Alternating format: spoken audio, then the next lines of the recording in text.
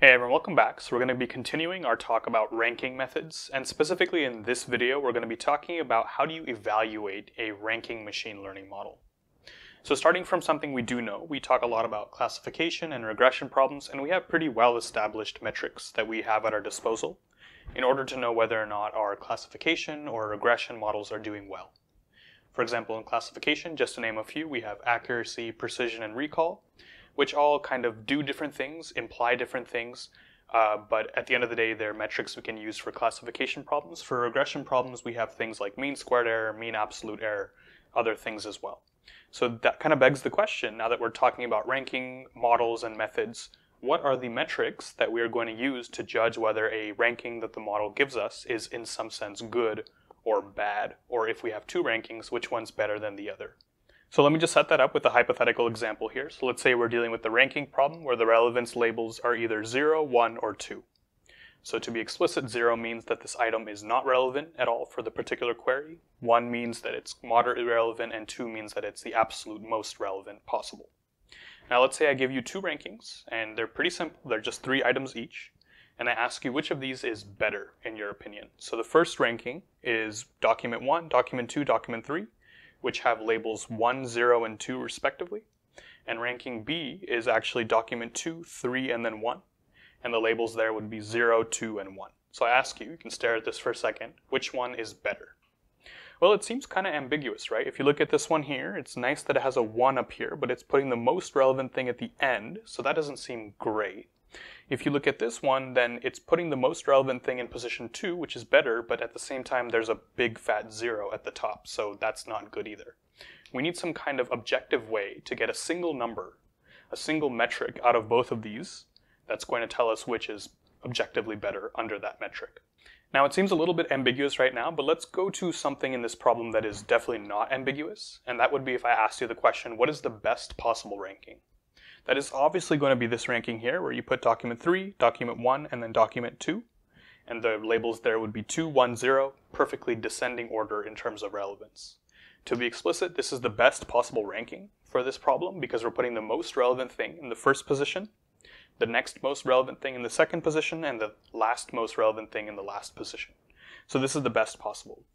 So now we're going to calculate a metric called ideal discounted cumulative gain. And so this sounds like a mouthful, but uh, we're going to break it down and see why it's actually not too difficult to understand and why it's a good ranking metric.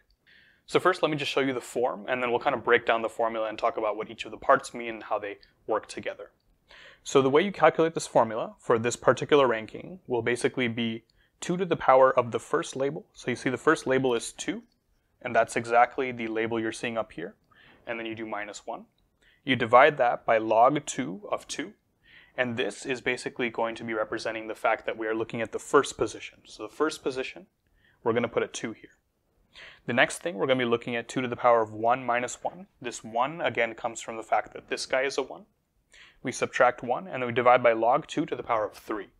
Notice the thing inside the log has increased by 1, and that's because we are now one position lower in the ranking. And the final thing, if you're following the pattern, would be 2 to the power of 0. This 0 comes from the fact that this is 0 minus 1 divided by log 2 of 4. This has incremented by 1 again because we've moved one more position forward, uh, lower in the ranking. And if we were to mathematically calculate this, pretty easy to do, we get 3.63. But I've basically told you nothing. I've done the thing on this channel where I try not to do, where I just throw a formula at you. So let's fix that by going through the formula and talking about why this makes sense and what it's trying to do. So I've kind of put these labels here to help us out. So the top things, all these numerators, are measures of relevance. So if you look just at the numerators, notice we're doing 2 to the power of 2 minus 1, 2 to the power of 1 minus 1, and 2 to the power of 0 minus 1. So these are measures of relevance. So the higher the numerator is, the more relevant that current document is that we're looking at. And there is also a version of discounted cumulative gain where you don't do this whole 2 to the power of thing minus 1. You just put the straight up relevance there, and it's still going to be a valid metric.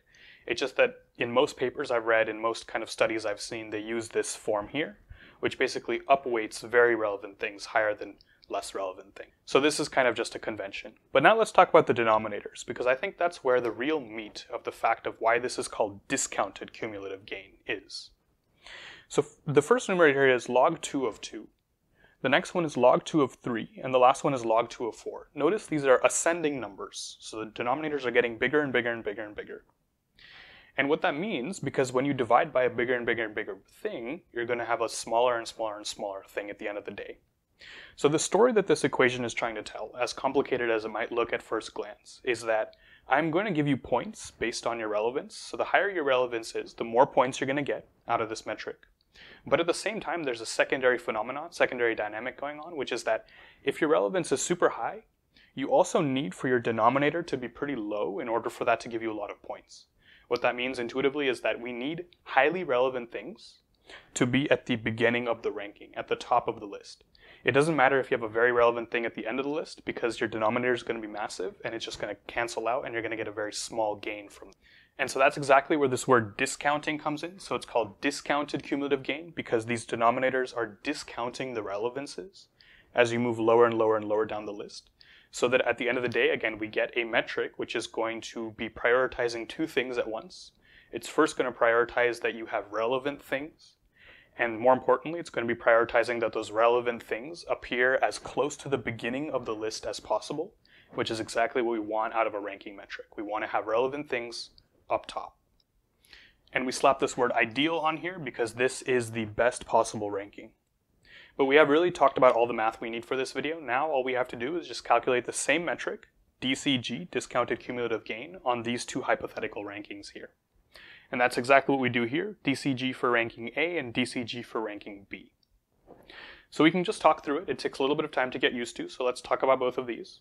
So the first thing we have here is 2 to the power of 1 minus 1. This 1 comes from the fact that this is a 1. And we divide that by log 2 of 2. Notice these denominators don't change. They're always the same discounting for all of these different possible rankings we could have for this same set of documents. Then we have 2 to the power of 0 minus 1, 0 coming from here, and finally 2 to the power of 2 minus 1. So this is one of those cases where I'm talking about where we have a highly relevant thing, but we have a bad thing happening where it appears at the end of the list, and we punish for that by basically giving it a big denominator by basically not letting it contribute that much to the ranking metric. And DCG for ranking B is very, very similar. And so we have 2.5 and 2.39, and the final thing we do to get normalized discounted cumulative gain is basically divide these DCGs by the absolute best possible DCG, which is this ideal DCG. We get 0.69 and 0.66, which basically tells us that the ranking A is better by a little bit under this metric, so now we have an objective way to compare these different rankings. And just for fun, what's the worst case? So if I ranked in the worst possible case, 0, 1, 2, I would get a DCG of 2.13 and an NDCG of 0.59, so you can see these are clearly better than that. So hopefully you learned about NDCG, Normalized Discounted Cumulative Gain, in this video, which is a very powerful and commonly used ranking uh, metric in the same way that we have these classification and regression metrics.